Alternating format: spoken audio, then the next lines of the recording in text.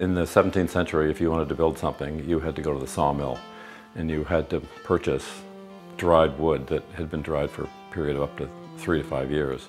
And with that, then you would have to work the surface of the wood, take away the roughness left by the saw, and that was all done with hand planes.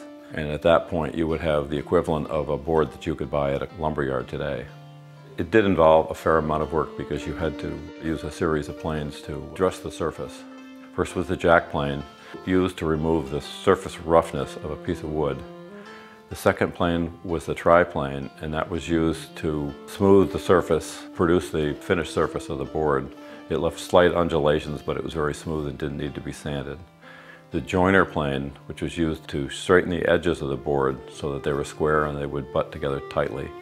And the final plane was a smooth plane, which was just used to touch up and smooth the surface and used for fitting boards together. When you come to historic Deerfield and you visit the Dwight House, we have a workshop set up where we actually have people demonstrating how these planes were used to dress the wood and make moldings and other joints that were used in the uh, construction of the houses and architecture at Deerfield.